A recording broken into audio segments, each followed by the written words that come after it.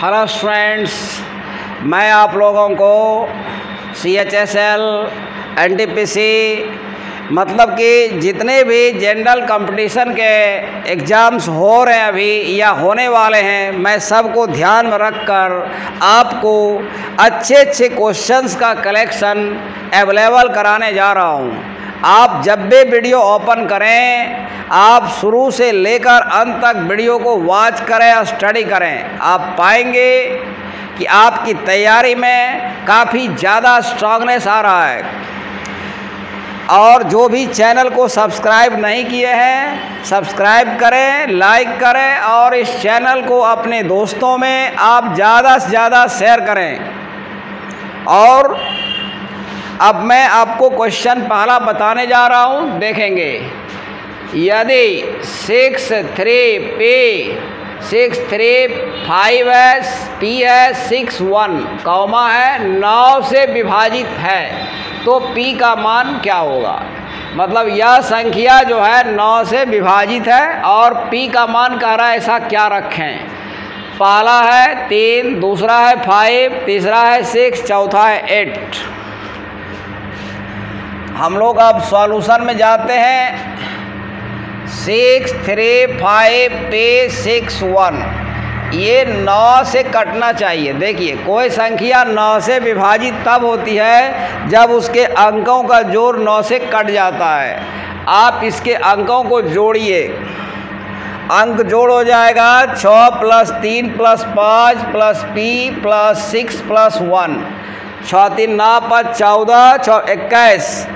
अंकों का ज़ोर आया इक्कीस प्लस पी और ये सारा पी का मान दिया हुआ है। अगर आप यहाँ से पी का मान छः उठा लें पी का मान छः उठा लें इक्कीस प्लस हो जाएगा छः सत्ताईस और सत्ताईस नौ से डिविजेबल हो जाएगा। और कोई संख्या के नौ से कटने के लिए अंकों का ज़ोर नौ से कटना मस्ट है एकदम एकदम ज़रूरी है। तो इस तरह हमारा ऑप्शन सी जो है, ये राइट आंसर है। देखिए क्वेश्चन नंबर सेकेंड है वन का स्क्वायर प्लस थ्री का स्क्वायर प्लस फाइव का स्क्वायर प्लस डॉट डॉट है प्लस फिफ्टीन का स्क्वायर है। हमको इसका वैल्यू निकालना है। पहला ऑप्शन है छः सौ अस्सी, दूसरा है छः सौ नब्बे, तीसरा है सात सौ दस, चौथा है सात सौ बीस। हम लोग अब सॉल्यूशन में जाएँगे। जैसे एक का स्क्वायर दो का स्क्वायर तीन का, इसका फार्मूला होता है। N into N plus one into two N plus one इसको दिमाग में रखना है फॉर्मूला को। तो हमारा अब यहाँ सवाल क्या है? वन का स्क्वायर थ्री का स्क्वायर फाइव का स्क्वायर और इस तरह फिफ्टीन का स्क्वायर है। तो हम फार्मूला में क्या देखते देखिए, एक का स्क्वायर रेगुलर है ये। और ये रेगुलर ये नहीं यहाँ गैप आ रहा है। इसको रेगुलर कर देना है। एक का स्क्वायर दो का स्क्वायर और इसमें आपने एक्स्ट्रा लिखा है।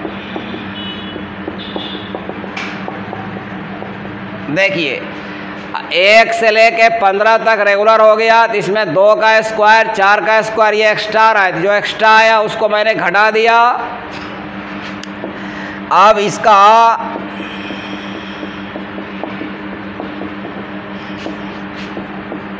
इसमें दो का स्क्वायर कॉमन निकाल लीजिए। यहाँ बचेगा एक का स्क्वायर, दो का स्क्वायर, दो से सात बार में कटेगा, दो से चौदह, सात का स्क्वायर। अब देखिए फार्मूला, ये फार्मूला अब होल्ड करेगा यहाँ पर। अब यहाँ एन का मान पंद्रह बैठेगा। पंद्रह गुना सोलह गुना इकतीस और यहाँ पर एन का मान एक बार सात बैठेगा तो सात गुना आठ और आठ सात। देखिए, ये दोनों का नंबर का ज़ोर है ये। उसी तरह मैं यहाँ पर पंद्रह सोलह मल्टीप्लाई करके और पंद्रह सोलह ऐड करके थर्टी वन कर दिया। यहाँ सात आठ को ऐड करके पंद्रह कर दिया। इसको कैलकुलेट करेंगे तो आपको आएगा छः सौ अस्सी। तो हमारा जो ऑप्शन ए है राइट आंसर है। देखिए क्वेश्चन नंबर थर्ड है।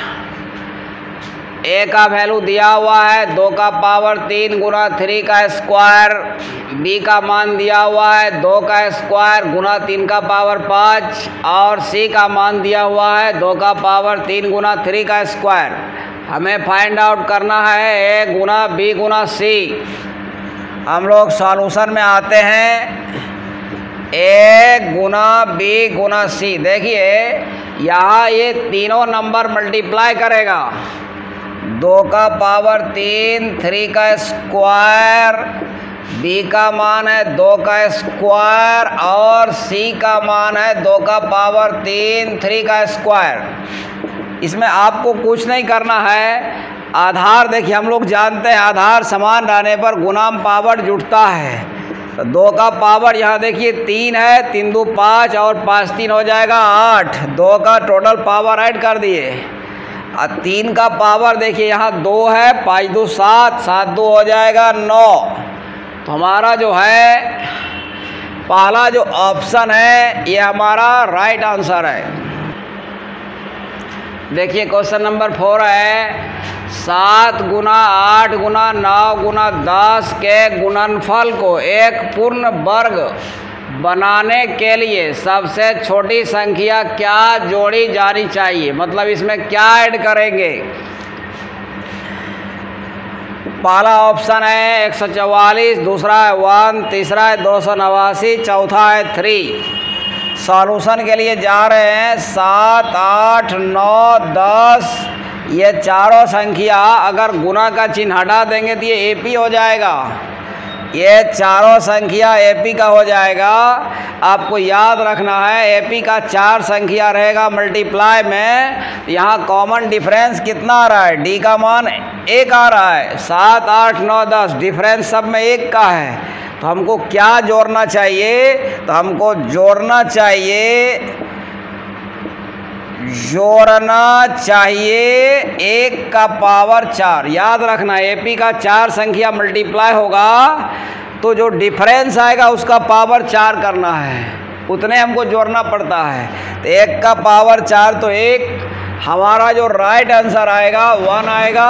मैं थोड़ा और एक्सप्लेन आपको कर देता हूँ। देखिए अगर मान लीजिए रहेगा ग्यारह, तेरह, पंद्रह, सत्रह इसमें कहेगा, क्या जोड़ेंगे पूर्ण वर्ग होगा x का मान? तो यहाँ देखिए, ग्यारह, तेरह, पंद्रह, सत्रह, यह भी ए पी है, और अंतर यहाँ आ रहा है दो का यहाँ हो जाएगा x बराबर दो का पावर चार। तो अब मैं इस वीडियो को यहीं समाप्त करता हूँ। Thank you very much